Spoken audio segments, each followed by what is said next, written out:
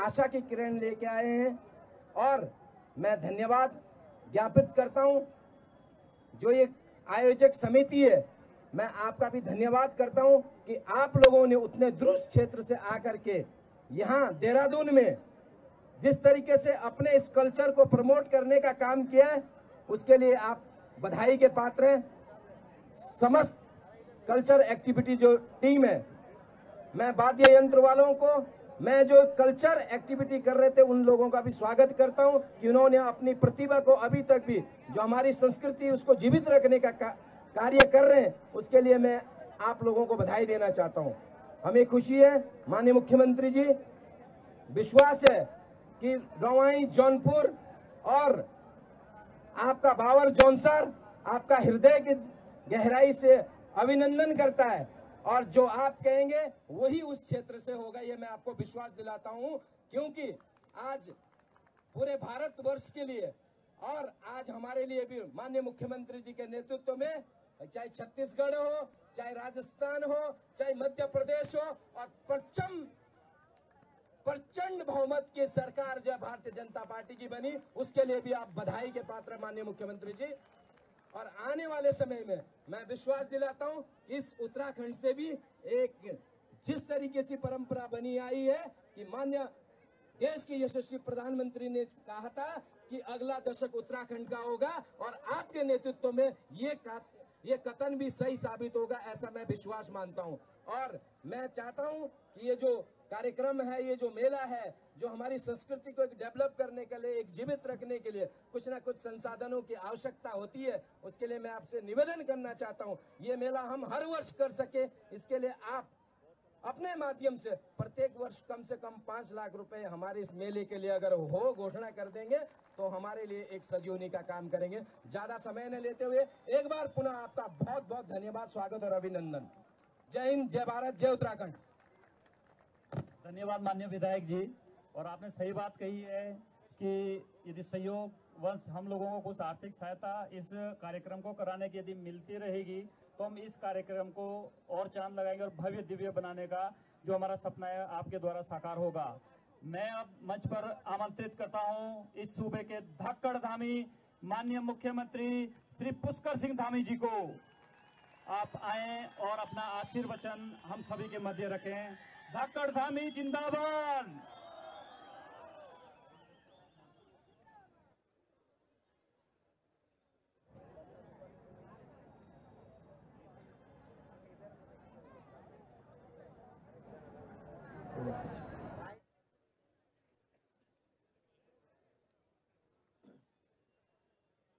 भारत माता की। भारत माता की। महासू महाराज की। महासू महाराज की। चालदा महाराज की। चालदा महाराज की। थोड़ा नृत्य एवं सांस्कृतिक महोत्सव के इस शुभ अवसर पर हमारे मुरौला क्षेत्र के लोकप्रिय विधायक भाई दुर्गेश्वर लाल जी, ब्लॉक प्रमुख कालसी, श्री मठोर सिंह चौहान जी, मीडिया प्रभारी भारतीय जनता पार्टी भाई नवीन ठाकुर जी, अध्यक्ष जौनसार भावर, पौराणिक सांस्कृतिक लोकमंच श्री कुंदन सिंह चौहान जी, जिला मंत्री और इस कार्यक्रम के संचालक भाई नरेश चौहान जी, मीता सिंह जी, प्रशांत नेगी जी इंजीनियर नरेश चौहान जी, हमारे आज जिनको यहाँ पर मेरे हाथों सम्मानित किया गया है, हिमाचल से आए हुए हमारे बहुत ही प्रसिद्ध लोक गायक श्री मोहन सिंह चौहान जी, श्री कुंदन सिंह चौहान जी, संस्थापक जौनसार भाबर पौराणिक सांस्कृतिक लोक कला मंच, इंजीनियर नरेश चौहान और इस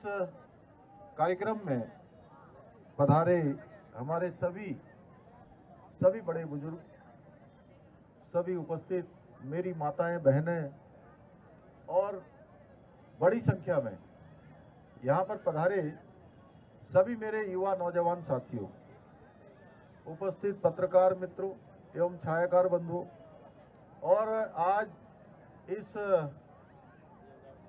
ठोड़ा एवं सांस्कृतिक महोत्सव में अपनी प्रस्तुति, अपनी शानदार प्रस्तुति देने वाले।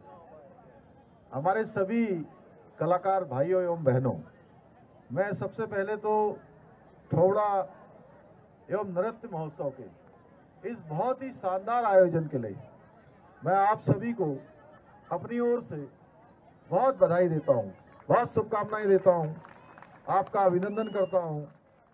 भाइयों, बहनों देवभूमि उत्तराखंड, हमारी पूरी दुनिया के अंदर, ये अध्यात्म और संस्कृति की केंद्र के रूप में, योग की आध्यात्मिक राजधानी के रूप में, पूरे विश्व के अंदर इसको मान्यता है।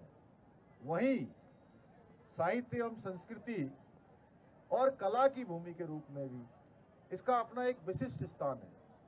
केवल यही नहीं, पूरी दुनिया के अंदर इस क्रम में आज जौनसार भावर पौराणिक, सांस्कृतिक, लोक कला मंच एवं सामाजिक संस्था के इस शानदार महोत्सव में मैं भी जब यहाँ पहुँचा, आप सबके इस आयोजन को देखकर, हमारे सभी कलाकार भाई बहनों को देखकर और अपने नौजवान युवा भाइयों के उत्साह को देखकर मैं भी अभिभूत हूँ कि इस शानदार कार्यक्रम में मुझे शामिल होने का सौभाग्य प्राप्त हुआ है।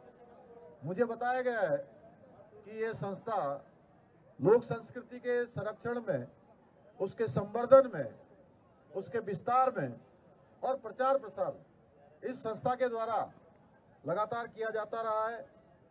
अपनी लोक कलाओं पर आधारित हमारे नृत्य, लोकगीत और पारंपरिक वाद्य यंत्र और वेशभूषा पर आधारित ये कार्यक्रम करना इस संस्था का मुख्य उद्देश्य है।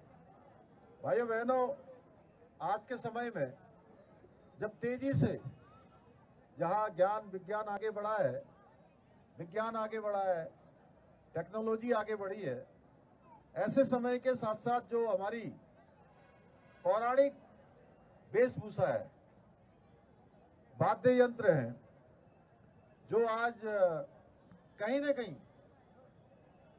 कुछ पहले की तुलना में धीरे धीरे कम हो रहे हैं।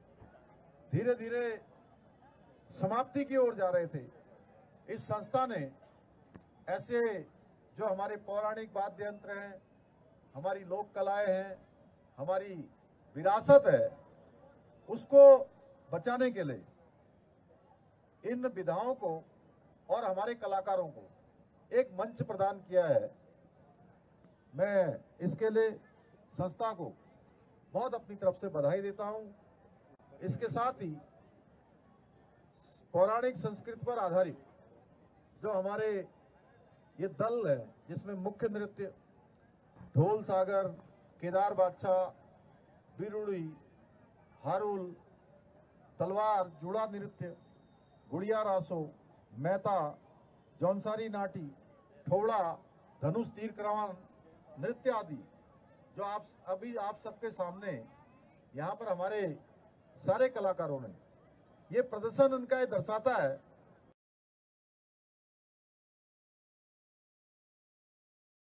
कि ये संस्था और हमारे ये नई पीढ़ी के लोग अपनी जो संस्कृति है, उसको बढ़ाने के लिए, उसको आगे लाने के लिए और पीढ़ी दर पीढ़ी, यानी कि एक पीढ़ी ने किया, दूसरी पीढ़ी को दिया और दूसरी पीढ़ी ने हमारी नई पीढ़ी को जिस प्रकार से इसको लगातार एक पीढ़ी से दूसरी पीढ़ी में ले जाने का काम हो रहा है, ये संस्था पूरी सजगता के साथ इस पर काम कर रही है।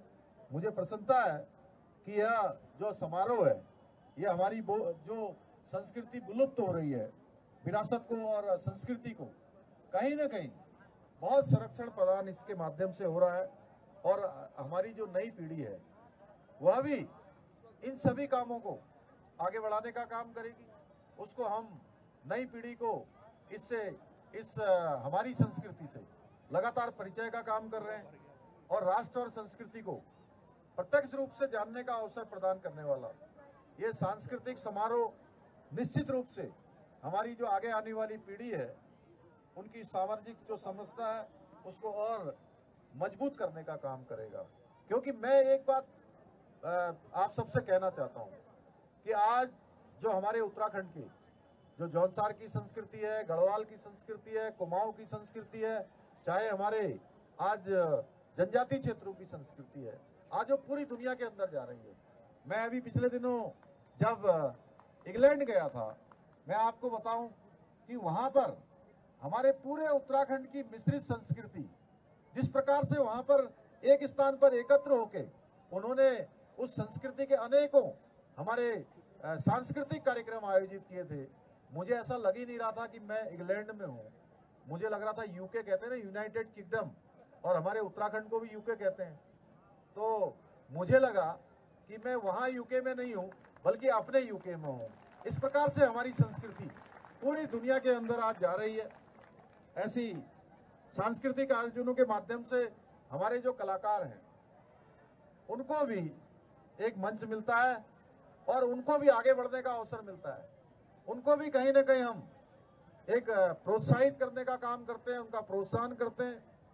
भाइयों, बहनों, संगठन में बहुत शक्ति होती है। और मैं देख रहा हूँ जौनसार भावर के लोगों ने, जिस प्रकार से प्रत्येक वर्ष जो भी वो आयोजन करते हैं, और आज के आयोजन में जिस प्रकार से आप सबकी यहाँ पर एक संगठन के रूप में शक्ति दिखाई दे रही है, वो वास्तव में हम सबके लिए कहीं ना कहीं प्रेरणा है, सामाजिक हो, साहित्यिक हो, सांस्कृतिक हो, उसमें संगठन की बहुत ज़रूरत है, एकता की बहुत ज़रूरत है।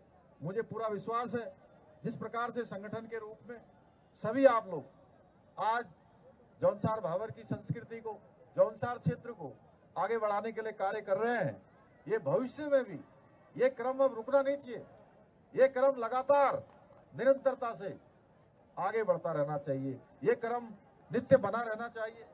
भाइयों बहनों आदरणीय प्रधानमंत्री मोदी जी के नेतृत्व में और उनके मार्गदर्शन में केंद्र सरकार के सहयोग से आज उत्तराखंड राज्य बहुत तेज़ी से आगे बढ़ रहा है। आज हर क्षेत्र में उत्तराखंड भी हिंदुस्तान के श्रेष्ठ राज्यों की कतार में शामिल होने जा रहा है। आज हम सब जानते हैं, हमारे प्रधानमंत्री मोदी जी का जो सबका साथ, सबका विकास, सबका विश्वास और सबका प्रयास इस मूल मंत्र को ध्येय मानकर हम सबको आगे बढ़ना है। हमें अपने देश को विश्व गुरु के पद पर आरूढ़ करना है और इसके लिए अपने अपने क्षेत्रों में अपने अपने स्थान पर जिसके पास जो ज़िम्मेदारी है, उस ज़िम्मेदारी का निर्वहन, उस ज़िम्मेदारी, उस दायित्व का पालन हमको पूरी ईमानदारी के साथ पूरे परिश्रम के साथ करना है तो निश्चित रूप से, जैसे हम सब जानते हैं, भारत की जो अर्थव्यवस्था है, वो पहले ग्यारहवें नंबर की अर्थव्यवस्था होती थी। आज हमारे प्रधानमंत्री नरेंद्र मोदी जी के नेतृत्व में वो तीसरे नंबर की अर्थव्यवस्था बन गई है। पाँचवें नंबर की अर्थव्यवस्था बन गई है। और आने वाले समय में वो तीसरे नंबर की अर्थव्यवस्था बनाने का हमने संकल्प लिया है।